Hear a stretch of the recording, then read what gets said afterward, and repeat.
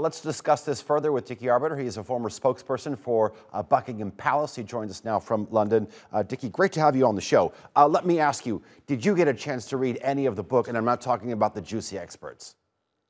I've read most of it, yes. Um, I've been unfortunately uh, not been able to get a copy until it arrived on my Kindle this, uh, earlier this evening, last night. So I have read quite a lot of it, and I find it incredible that he has come out with this. Here's somebody who has complained to the media about his privacy being invaded. He has sued the media because private papers have been published, and yet here he is doing just what the media are doing. So he's playing a bit of a double game, and it's all double standards. I'll get to that double game and, and double standards in just a bit, but I think many people out there could be saying, you know, uh, every family has their arguments, but putting it out there for the entire world to see, it's a different story altogether. I understand the fascination with the royal family, but why do you think that Prince Harry and his wife have embarked on this, not this campaign, but this prolonged campaign to tell their story and present themselves as victims? Well, you are absolutely right that every family has spats, but not every family airs their dirty laundry in public. Why he's doing this, I think that's a question that needs to be put to him. He claims that uh, his privacy is invaded. He claims that his uh, his wife is being uh, uh harassed.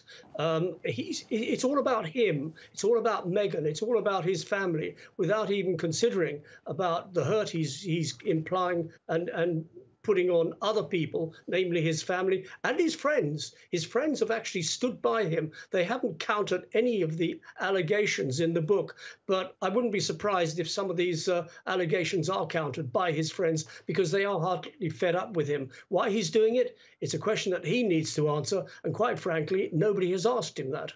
Mm. Um, there have been a number of issues that uh, the royal family has had to deal with over the years. We all know that. I mean, as much as it didn't start under his watch, how do you think that uh, King Charles uh, will deal with this, uh, for lack of a better way of putting it, public relations headache? Well, it is a bit of a public relations headache, but I think it's a public relations headache for the uh, Count and Countess of Montecito uh, rather than the uh, direct family here in London and in the United Kingdom. I think what they're doing at the moment is absolutely right, maintaining a dignified silence. Somebody asked me the other day, well, why doesn't William come out and say what exactly happened at Nottingham Cottage in the allegation that he pushed Harry over?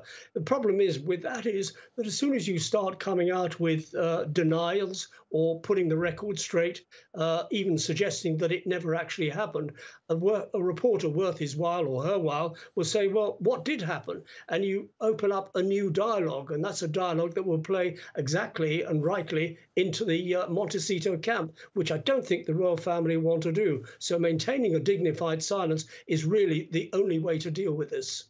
Okay, Dickie, since you're talking about uh, denials and putting the record straight, uh, I am wondering, uh, and, and, Sarah was just mentioning, I'm sure that you were, were, uh, listened on it as well.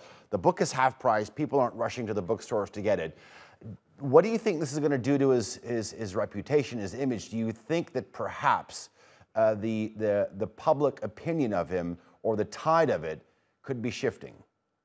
Well, the public opinion of him is shifting. Certainly in the UK, it it was uh, a few weeks ago up slightly over 60%. It's now down to slightly over 30%, and Meghan's is even lower. It's in the 20s. So people are heartily sick and tired of it. They don't like the idea of the the royal family being hammered the way he is hammering them. It is all about him and his family, and I think the tide is turning in the United States as well because they're getting a bit tired of it. Quite frankly, nobody would be the the slightest bit interested, certainly in the United States, if they weren't the Duke and Duchess of, and he wasn't the son of the king. Uh, if they were ordinary Mr. and Mrs. Sussex, they wouldn't really care one way or another. But I think the, uh, you know, as you put it, the the sort of the great global public is uh, falling off the idea of uh, of supporting him. They've seen so much in the newspapers they're not going to buy the book because they've seen it all as far as they're concerned. So I think the, the publishers are going to be left with one very big headache and one stockpile of books. Okay. Prince Harry's autobiography, Spare, has hit the, bo- uh, the book stands. Dick Arbiter, pleasure talking to you. Thanks for joining us here on the NewsHour.